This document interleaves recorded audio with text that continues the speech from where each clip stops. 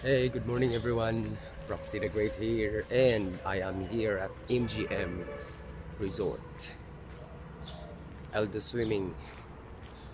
So swimming ta karong adlaw.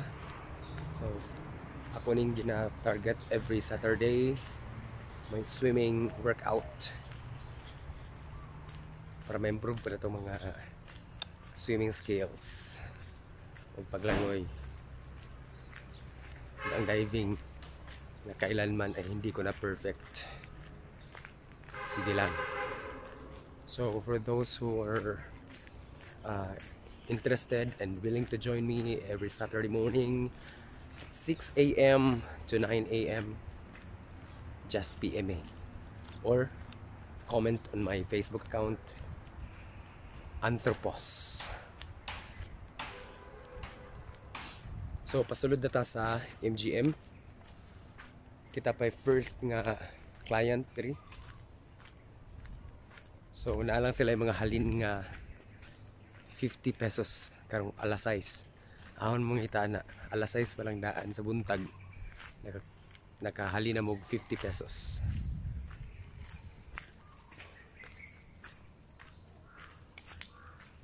And also kindly follow me in my uh, YouTube account Proxy the Great Bisag unsa lang to dito nga videos. Pag like like lang gud pud mo. I-share share pud ninyo gud bisag way pulos. Para lang ma-share ba? Okay. Alright. Okay, so guys, nanata diri sa sulod sa MGM Resort and nanata sa swimming pool. We are here at their swimming pool and we, we are going to start our swimming activity later on. So, in learning how to swim, you should know how to do the basics. So, pinaka-basic ano pag-swim na to, kinahanglan nga pinakauna, maghukas. Kaya bawal ka mag sulotog sa nina sa swimming pool. So, hukas o pagkahuman, hukas, dapat mag unsa okay mag swimming trunks. Kana swimming trunks is the best policy. And of course kani siya pinakakinahanglan ang pag shower uy wala may tubig. Lang shower oh. Oh. Pero wala tubig oy naigamay ni agas. Okay so may agas gamay. So mag shower na ta. Sag sa ginahinay lang. Okay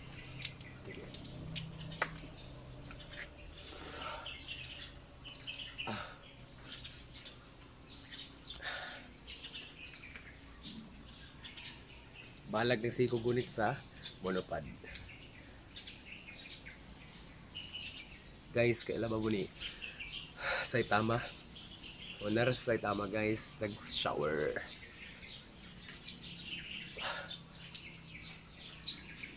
Okay? So join me every Saturday morning here at MGM Resort. Entrance lang guys is 50 pesos. Sa so, 50 pesos ni mo, saan aabot ang 50 pesos mo? Doon sa swimming pool.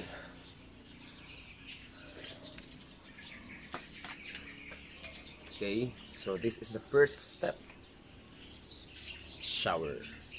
Para dili pod mang di po ka maka-add sa kuan dito sa ubos sa mga dalikdik sa mga hugo sa mga lawas so dapat ah, pero guys see you later kiwasan sa ako niya akong pag shower okay so human na og shower ang atong next activity would be of course warm up mag warm up ta para maboy na to ang mga cramps, muscle cramps. Para suabe ito pag swim unya, wala mga pakay. Okay? So we are going to have the warm up first.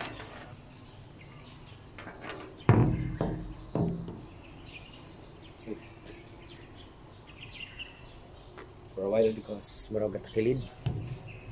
Hmm. Ana ra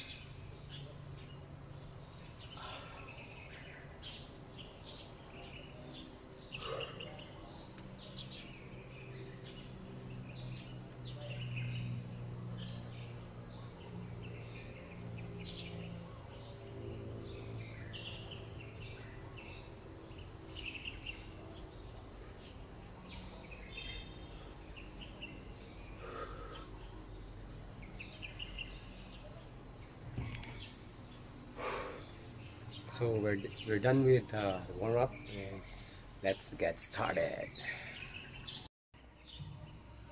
Okay, so next thing na buhaton ang pagbab. Tawag na to ang atong mga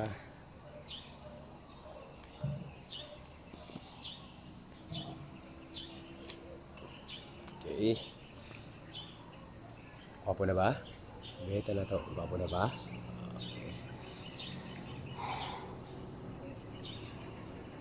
Do.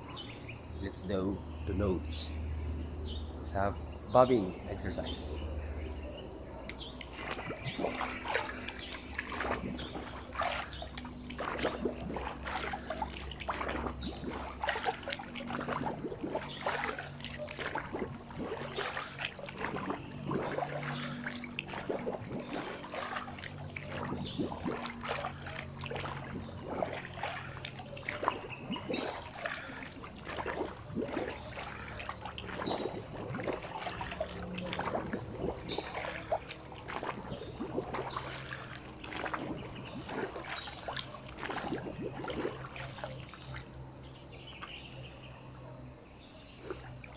Okay, so let us stretching.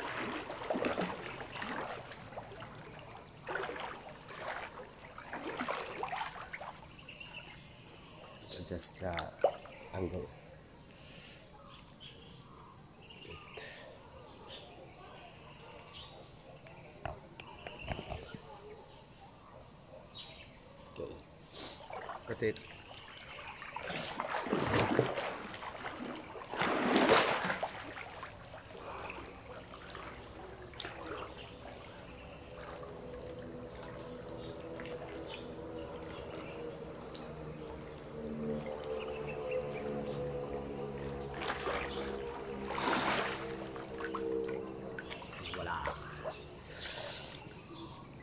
Let's go.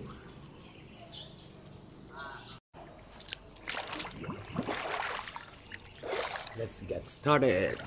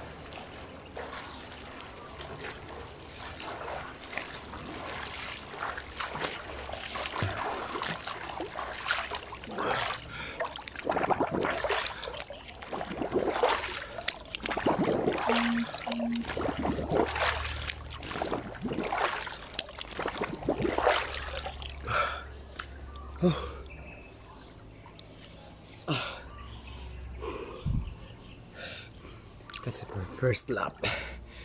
Kapoy. Hangak.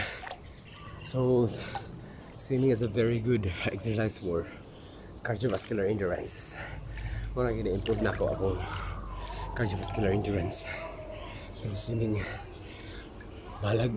Langoy-langoy lang nga simple lang good. Just to improve my cardiovascular endurance.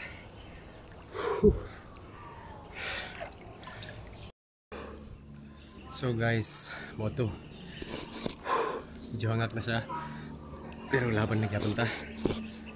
Um, medyo kahiyon ko so I need to pee out in the pool, in the pool. So, tip ha. Kung kaiyon gani mo, ay din mo panghi sa pool. Do not pee on the pool. Kay hinuoy kayong mga uban nga gagamit. So you need, you need to get off the pool and you need to pee. Siguro sa shower. Let's try the shower.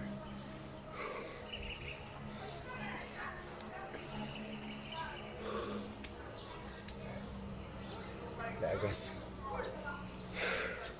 Wala gas diri so transfer dito sa gawas.